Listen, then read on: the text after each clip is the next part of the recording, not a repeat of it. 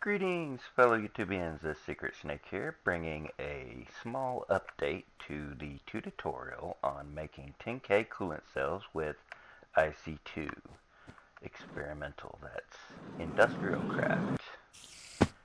And um, this is necessary because it was lacking some information that you really needed to know to understand how to process the steam correctly. Uh, basically, the steam generator. That's what this little mini mini uh, video is for, which I will put at the end of the tutorial so you can understand how it works. Now that I understand, I can teach you. Um, first, we have to get down to, this is mine shaft, it goes to bedrock that's not where we're going. This is where I have my setup for uh, coolant. Let me first empty some of this just to make it a little less.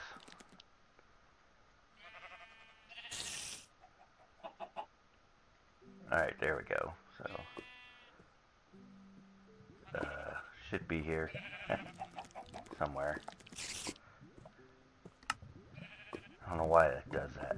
Alright, so basically what I'm going to be showing you is how to use the steam generator. So here's how it works. We have, for every 100 uh, heat units that are being transferred to the steam generator, it will, uh, you want to have one tick, one, I mean one uh, millibuckets worth per tick. Um, I have two extra heat uh, generators hooked up. So here's how this works. We're going to go ahead and add 200 heat units. Now you see it's not working at the moment because, oh, and something else I'd like to show you. Uh, see this little orange thing? This is the uh, copper, I suppose you could say. This is the contact point. This needs to be touching the machine that needs to accept the heat. So with that, let's get that that way again. Alright. So right now, this machine's not running, as you can see, even though it's set.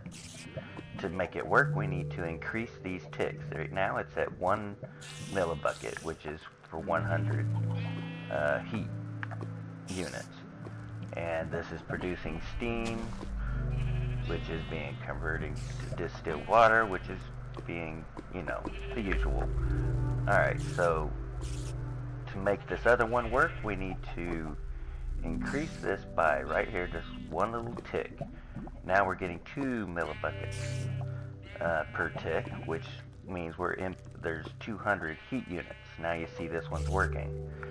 So we have 200 oh and if you notice that little shaking thing, that's actually a shader pack, or a shader for making grass and trees uh, sway around. I don't know why it's affecting blocks, but it is. Anyway, so now we have 200 heat units going through, and we have this set to 2 millibit uh, buckets per tick, and it's producing steam perfectly. Um, and the steam's about to go exploding. So this is where the heat vents come in.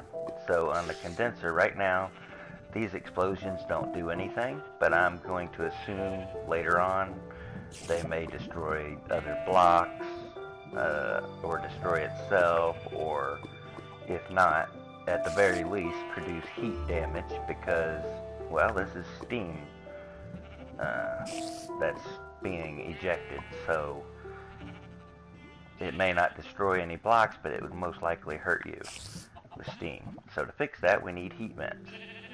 So the, the point of this is that you need to set this with the correct amount of heat vents.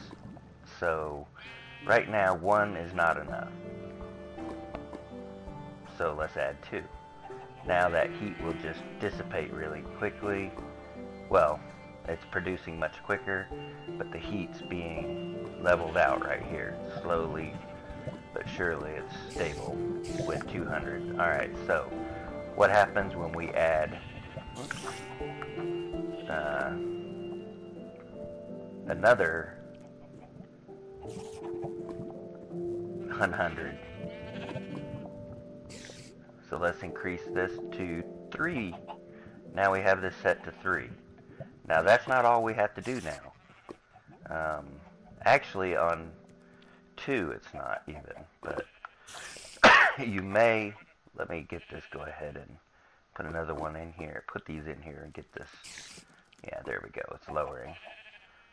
Alright, so what I'm wanting to show you is it's not doing it at the moment. You may have to give it a increase in pressure by one bar or two. Um, right now it's not doing it. It's wanting to be a something. Oh, I see why. My power. What is going on with my power? Well, this sucks. Alright, let me fix this here. Time for it to do this. Let's just grab mechanism. Let's just grab a cube and we will apply power. There we go. There we are. Now everything should be yeah, great. Alright, now you see how it's flickering. Now that's with 200 heat units. So to fix this, let's turn this back down to 2. Uh, it's flickering. You don't want that. So what you need to do to fix this is to add one bar. Now it's working. Now we're getting steam and everything's working like it's supposed to. Uh, oh, and this does require lots of power, by the way. So, as you realized just a minute ago, I have a lot of power being produced, and it just sucked it all up. Alright, so now let's add the 300 uh, heat units. So now we have 300 heat units being produced with 3 millibuckets per tick. So if this starts flickering again, what you need to do is just add an extra bar or whatever to stabilize it. I'm not sure if it's going to cause a problem right now. Right now it looks very stable, but it could. Uh, well, it don't matter. You keep those in there. Yeah, it seems pretty stable, so but if it does start flickering again, like that, just give it an extra bar. Whatever it takes. But it's a not too difficult. It's just slowly changing these numbers to get them to work right. Remember, for every heat, 100 heat, you want one more tick worth of uh, millibuckets. So you don't want 400 millibuckets because, well, I guess that's not going to be good since it's only producing 300 heat. Now I guess giving it an extra bar ain't going to help either, is it? What about no bars? Of course not. So it's just a number game. So just make sure you have it set correctly. 300 heat units equals 3 millibuckets worth of ticks per tick of water and 1 bar. So that should take care of you. 1 to 2 bars. 1 bar at 2 200 milliticks. Anyway, I hope this helps. Uh, I had no idea how this thing worked, but now I have a small idea, so that should get you producing lots and lots of coolant for yourself. Now, you do not have to put it in the uh, here.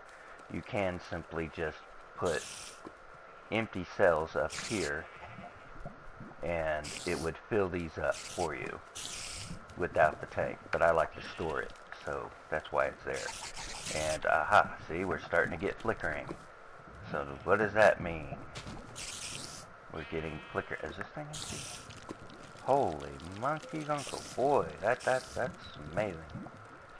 that that this holds a heck of a lot of energy, uh, and it just demolished it. That's pretty amazing. So yeah, you're gonna need quite a powerful energy source to run that many uh, heat generators. Uh, see. Anyway, this is now full. Uh, well, I guess I'll end the video here. 10 minutes in. More longer than I planned. I just wanted to explain to you how the steam generator works. So I hope it helps, and as Dire always says, take it easy.